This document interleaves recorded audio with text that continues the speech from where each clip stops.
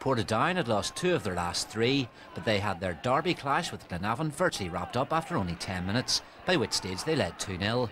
Gary Hamilton, who had a hat trick in the same fixture last year, got the first, and then Colin Feedy headed in number two. So Glenavon stay bottom and remain in deep relegation trouble.